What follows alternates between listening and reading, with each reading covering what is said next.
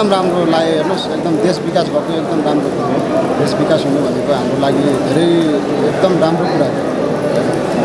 चाहिँ अब देशको लागि चाहिँ यस्तो टनेलहरू धेरै खुल्यो भने हाम्रो धेरै देशहरू चाहिँ धेरै विकास हुन्छ। त्यही हो अब हामीहरूलाई पनि अब गरिब दुःखीहरूलाई पनि अब रोजगारी पाउनु भयो होइन? त्यही विदेश जानु परेन होइन? अब काम सिप अनुसारले र काम गरिरहेको त अब राम्रो सेलेरीहरू राम्रै अब दिइराखेको छ कम्पनीहरूले। राम्रै छ। यो हाम्रो नेपालको चाहिँ पहिलो चाहिँ रोड टनेल हो यहाँ जुन चाहिँ खतराहरू पनि हामी सामना गर्दै आएको छ। यहाँ चाहिँ म मेकानिकबाट इन्जिनियरिङ छु हाम्रो यो सानो टनेल र ठुलो टनेल भन्छ। एउटा चाहिँ मेन टनेल एउटा चाहिँ इभ्यास टनेल भन्छ।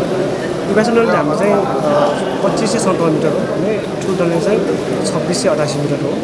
आज चाहिँ हाम्रो लगभग डेढ मिटरको चाहिँ थ्रु गरेका हौँ। एकदमै खुसी लागेको छ। फर्स्ट टाइम यति धेरै हाम्रा टिम मेम्बरहरू चाहिँ खुसी भएको छ। सबैलाई खुसी लागेको छ। एकदमै खुसी लागेको छ। मलाई त एकदम खुसी हेर्नुहोस् राष्ट्रिय गौरव योजना हो हाम्रो घरमा काठमाडौँ आउन गर्न पाउनु